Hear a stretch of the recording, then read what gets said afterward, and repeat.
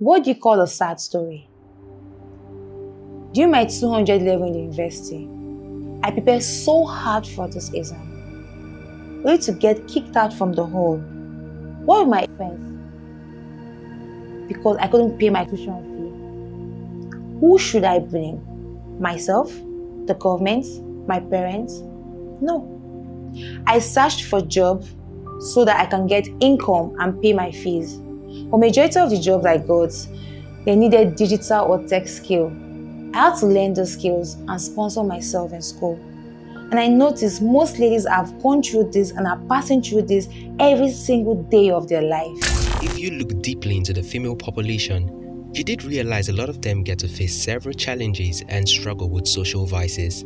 If no solution is able to tackle this, there will eventually be a ripple effect on our families and the community at large as these ones are the future mothers to children, home builders and global agents of positivity. Our focus is on these ones because we believe through them the society will be affected in a very positive way.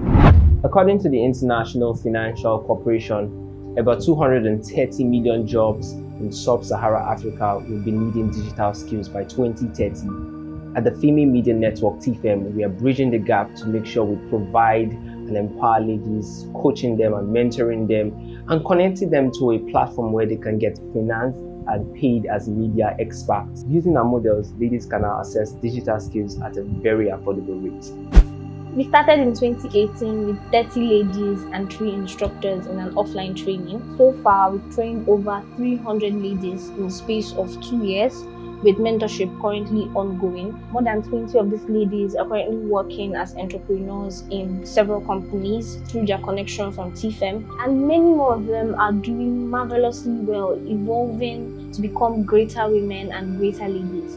During the pandemic, we realized we could become better, we could be more innovative and improve our training process to be able to reach out to more ladies across Africa.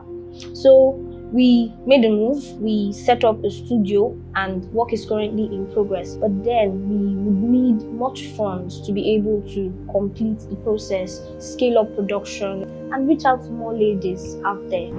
With more ladies on the network, we saw the need of getting a solid source of income so we can be able to sustain their trainings and also reach out to more ladies. We plan on recording our digital courses and making them available for sale at a very affordable rate. Our digital courses will be a more detailed version of our current trainings and each courses will be sold at an average cost of 15 to 20 dollars. If we're able to scale up production as soon as possible, we'll break even in 6 to 8 months, generating a revenue of $4,500 to $6,000, which will help us in managing the cost of training an average of 800 to 1,000 more ladies in Africa. 40% of this fund will be used in developing an e-learning platform and also get more technical materials to accommodate more trainings. Then 20% will be used in marketing our digital courses.